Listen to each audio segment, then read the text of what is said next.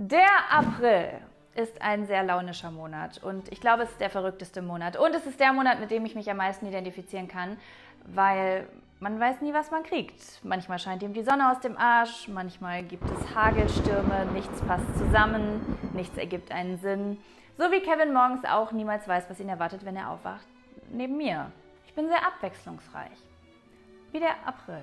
Ich weiß noch, als ich ganz, ganz klein war, hat meine Mutter schon immer gesagt, wir können das jetzt nicht fest planen fürs Wochenende, es ist April.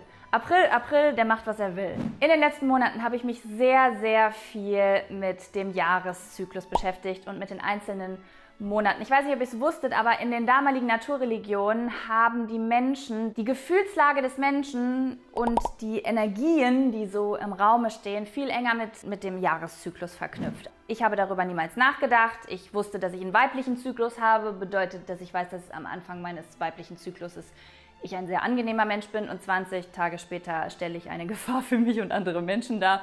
Und ich wusste auch, dass es einen Mondzyklus gibt, Darüber weiß ich aber nicht so viel. Worüber ich aber eine ganze Menge weiß, ist der Jahreszyklus der alten Naturreligionen, denn damit habe ich mich letztes Jahr extrem viel beschäftigt. Das liegt daran, dass es mich genervt hat, dass ich mich jeden Januar immer so scheiße gefühlt habe.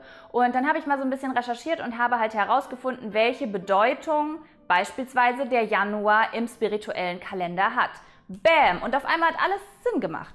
Für mich auf jeden Fall. Was wir alle wissen, ist, dass der Januar für den Neubeginn steht. Das wissen wir aufgrund der Neujahrsvorsätze. Da gibt es die Leute, die im Januar aufhören wollen zu rauchen, ins Fitnessstudio gehen wollen und dann klappt das alles nicht und sie werfen das über Bord. Und dann gibt es die andere Personengruppe, die über die erste Personengruppe lästert, weil sie sagen, man braucht keine Silvesternacht als Anstoß dafür, um etwas zu ändern. Man kann das ganze Jahr lang etwas ändern. Und dem würde ich auch nicht widersprechen. Aber was ich sehr, sehr interessant fand, war, dass schon vor vielen Hunderten von Jahren die Menschen den Januar als Neubeginn gesehen haben. Und zwar auf energetischer Ebene. Also man soll im Januar auf das Jahr davor zurückblicken und reflektieren und schauen, was lief gut, was lief schlecht und daraus lernen und sich dann quasi einen Bauplan schaffen, was man sich für das nächste Jahr wünscht und wie man das angehen würde und welche Ziele man vielleicht erreichen möchte, ohne sich direkt eine 30-Tage-Frist zu setzen, in der man das schaffen soll, sondern eine Vorstellung, was in den nächsten ganzen zwölf Monaten Schritt für Schritt passieren könnte. Das hat mir letztes Jahr wirklich sehr, sehr doll weitergeholfen und hat mir den Druck genommen und wahrhaftig dazu geführt, dass ich meine Ziele langfristig letztes Jahr besser angegangen bin, anstatt kurzfristig zu versuchen, irgendwas zu reißen und dann total demotiviert alles in die Ecke zu schmeißen, weil der Mensch sich nun mal nicht über Nacht ändert. Und der April, also ich glaube jetzt gerade, haben wir jetzt schon April? Verdammt, ich sollte besser planen, wann meine Videos online gehen. Der April steht beispielsweise für die Veränderung im Außen.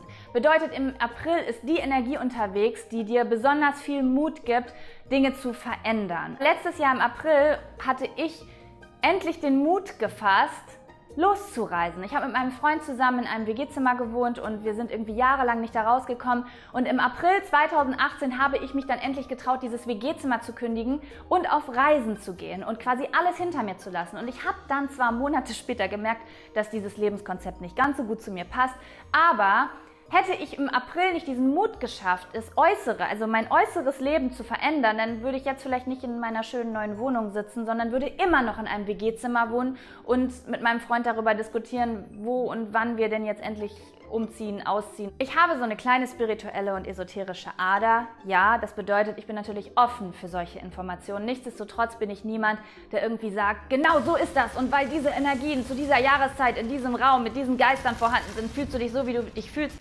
Nein, so denke ich natürlich nicht. Mir ist bewusst, dass ganz viele verschiedene Dinge Einfluss auf unser Leben nehmen. Nichtsdestotrotz habe ich im letzten Jahr ein bisschen auf diesen Kalender geschaut und es hat mir wirklich sehr gut getan. Und hier, ich bin ein bisschen unruhig, aber das Frühjahr steht ja auch für Veränderung und lass das jetzt einfach mal zu. Das ist genau die richtige Zeit. Hör dir jetzt vielleicht mal den richtigen Podcast an oder das richtige Hörbuch oder renovier deine Wohnung, weil wir haben April und es ist angesagt, Veränderungen im Außen zu nehmen. Just saying. Auf jeden Fall ist all das wesentlich hilfreicher, als im Bett zu liegen und zu denken, ich hasse mein Leben.